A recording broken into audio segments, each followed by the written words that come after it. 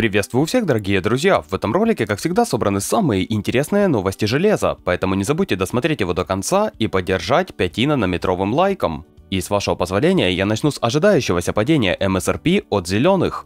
Сайт BenchLife сообщает, что уже на этой неделе Nvidia официально снизит цены на свои высокопроизводительные модели амперов. Согласно этой информации, RTX 3090 Ti будет стоить 1500 долларов, что на целых 500 баксов меньше официально рекомендованной цены. Обычная RTX 3090 будет стоить на 200 долларов меньше, и новая цена составит 1300 вечно зеленых. Кроме того, такое снижение повлияет на цены RTX 3080 Ti и RTX 3080 на 12 гигабайт. Первая должна подешеветь минимум на 100 долларов, а вот у 3080 на 12 никогда не было рекомендованной цены, поэтому новая цена просто неизвестна. Беглая же проверка цен наглядно показывает, что в некоторых местах вроде Newegg и Best Buy цены уже упали. В магазине EVGA также появились обновленные MSRP, а RTX 3080 на 12 оценивается в 799 долларов, что дороже обычной 3080 на 10. BenchLife отмечает, что новые цены должны вступить в силу на этой неделе, но источник не назвал точную дату. Так что говорить про официальное снижение MSRP можно будет только после того, как Nvidia снизит цены на своем официальном сайте. Сейчас же до сих пор этого не произошло, поэтому падение MSRP все еще условное. Между тем, RTX 3060 на Али можно найти за 40 тысяч рублей и 3060 Ti от 51 тысячи, а ссылочку на продавца я, как всегда, оставил в описании.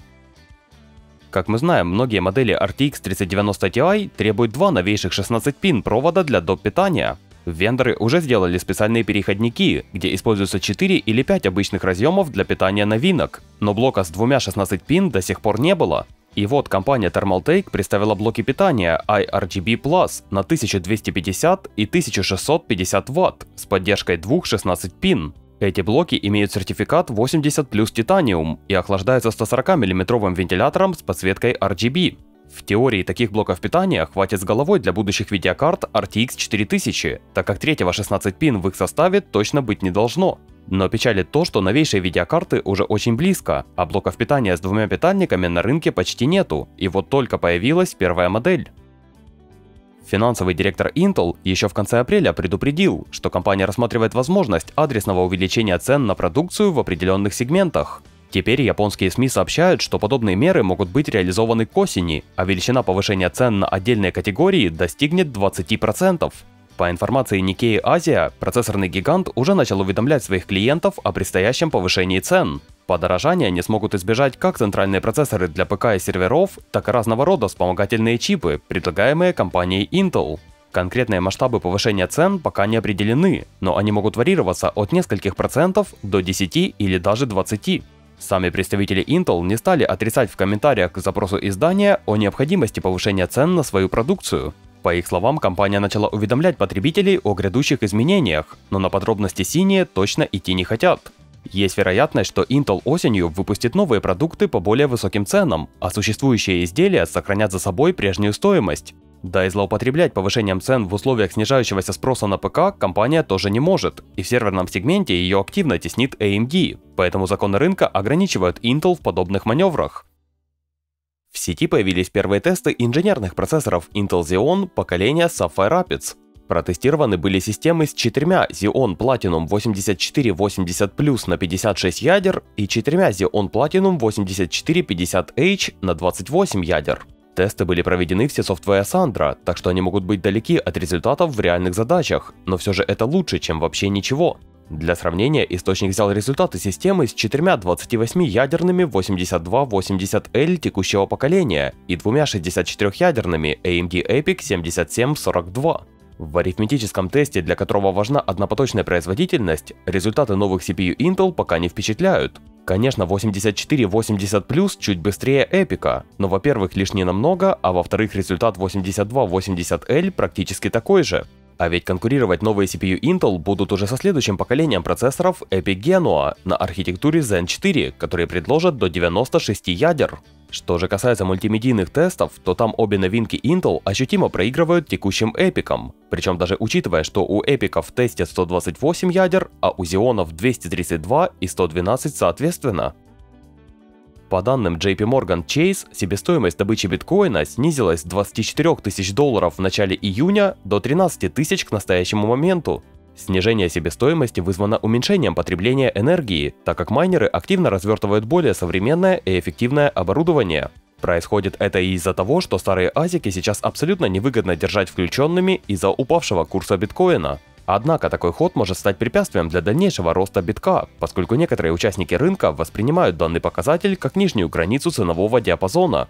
Иными словами, себестоимость биткоина отныне составляет 13 тысяч долларов, и ниже этой отметки майнеры битка начнут работать в убыток. Хотя это тоже очень условный показатель, так как у всех разные тарифы на электроэнергию, и кто-то может уйти в минус и раньше.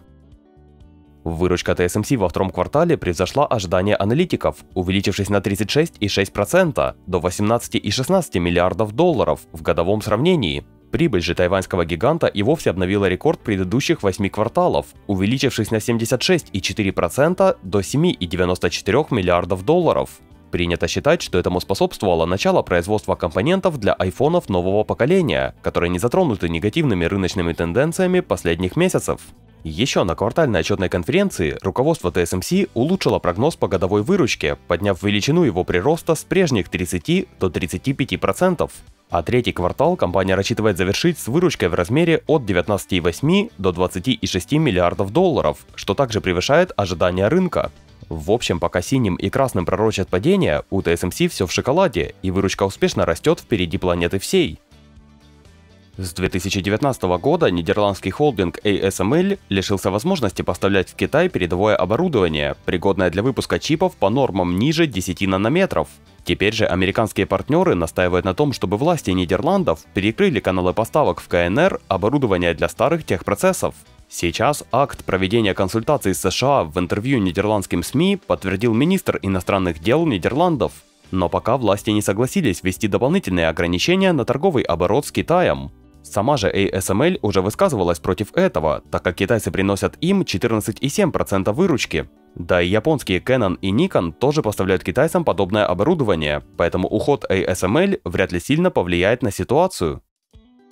Тайваньское правительство запретило местной компании Foxconn инвестировать, не получив предварительного одобрения властей острова, в китайский конгломерат Tsinghua Unigroup, которая занимается полупроводниковыми технологиями. Как сообщает Reuters, китайское подразделение Foxconn планирует потратить 1,46 миллиарда долларов на покупку доли в Tsinghua Unigroup. Теперь же Тайвань запрещает своим компаниям строить в Китае предприятия, использующие наиболее передовые технологии, во избежание их утечки. Представители властей уже уведомили СМИ и связались с Foxconn, напомнив, что дело нуждается в рассмотрении до того, как можно будет что-либо предпринимать. А если Foxconn слушается, компанию ожидает большой штраф где-то на 837 тысяч долларов. Ну а если вам понравился ролик, то не забудьте поддержать его прожатым лайком и подпиской. Я же, как всегда, говорю огромное спасибо всем, кто поддерживает выпуски и сам канал. Еще больше новостей вы, как всегда, можете найти в моем телеграм-канале и группе в ВК. До новых встреч, друзья!